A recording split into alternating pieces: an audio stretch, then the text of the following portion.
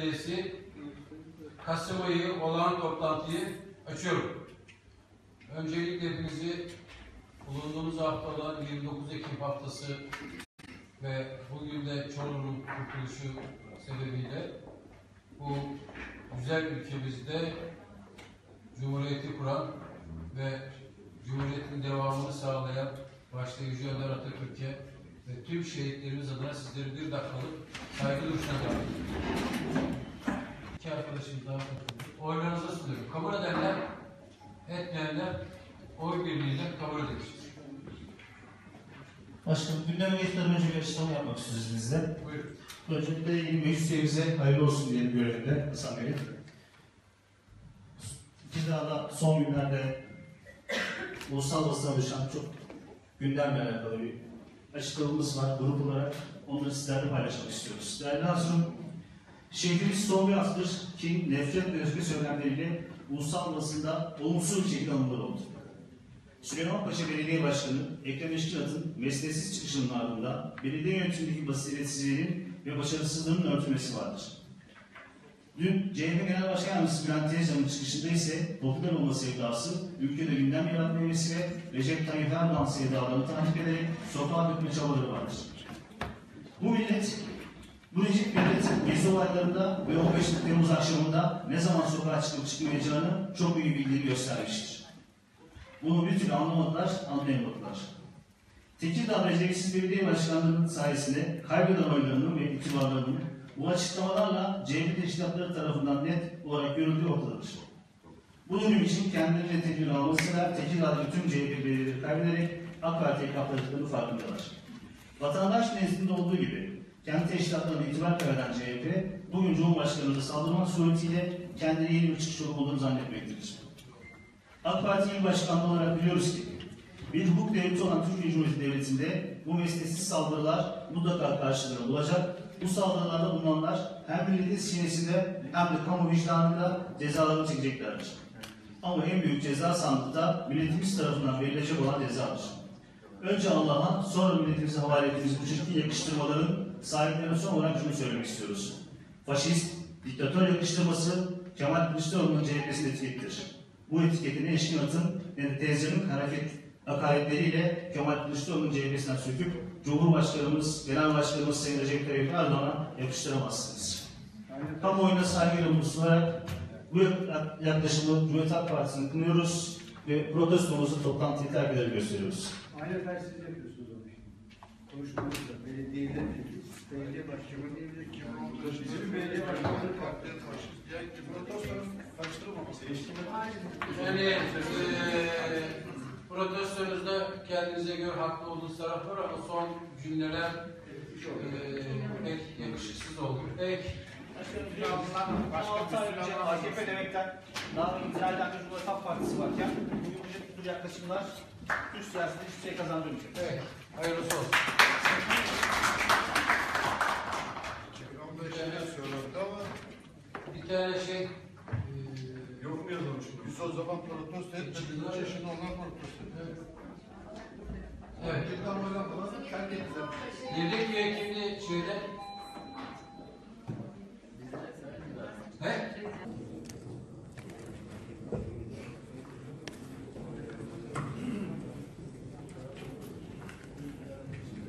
Evet, çok değerli ergenler, çok değerli meclis arkadaşlarımız. Bugün ergenemizin kurtuluş günü. Ee, dolayısıyla ben hepiniz bir dakikalık saygı duruşuna akabinde İstiklal Marşı'na davet ediyorum. Buyurun.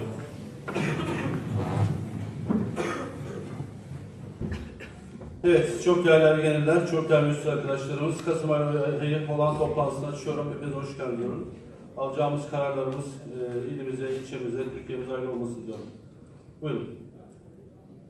Ee, Ben de öncelikle Ergenlik Kurtuluş Yıldönümü'nü saygıyla kutluyorum. Ee, Ölülerimize rahmet, gazilerimize de uzun diliyorum.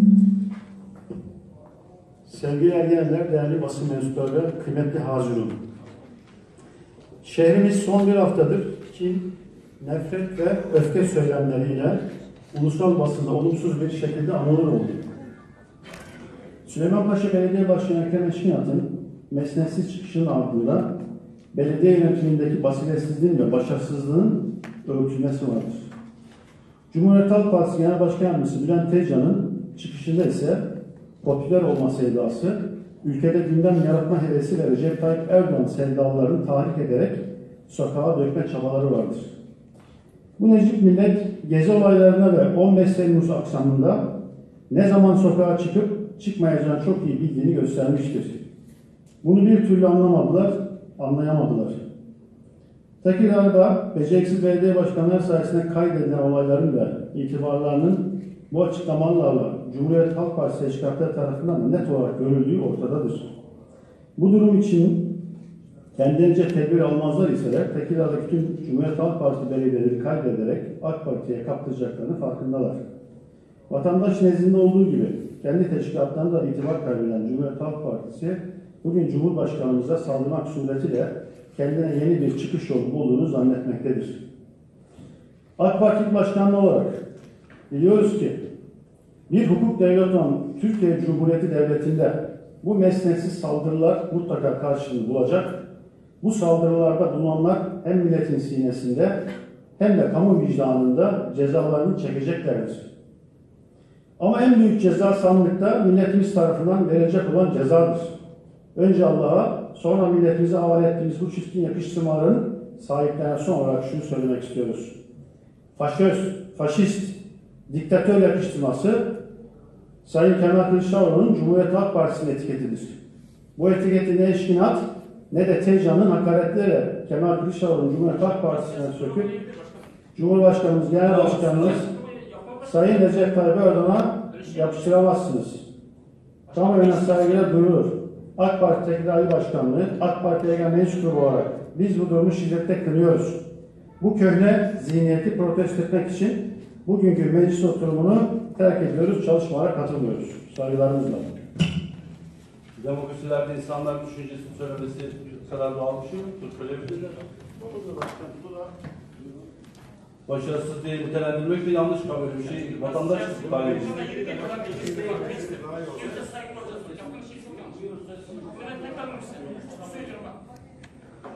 Devletin kimyası biliyorum da yaptığı şey yanlıştır da. Size saygımız var ama yaptığı şey yanlış. Kamuda da kendi genel başkanı eleştiremez. Ya senin kendi adamların bizim Bak, faşist diktatör... Lütfen karşılıklı dakika. Ee, tamam. Genel başkan yardımcınız değil mi kardeş? yerim Yani burası. yeri. Hayır, Bu biz biz mi? siyasi temsilci değil miyiz? Sonu savunmak sana mı kalıyor? Sana mı kalıyor savunmak? Karşılıklı görüşmeyin. Savunmak Karşılıklı. sana mı kalıyor? Mesut Bey, karşılıklı görüşmeyin. Bak burada isim söyledik biz. Sayın Eşkinat'ta arkadaşın ismini söyleyecek. Lütfen arkadaşlar. Kapatın kapıyı. Böyle şeyler başkanım izin vermeyeceksin ya. Adam siyaset bırakma yap ya. Susup bir dinle. Genel başkanı affedecek. Hepsini affedecek. Susup dinleyeceğiz.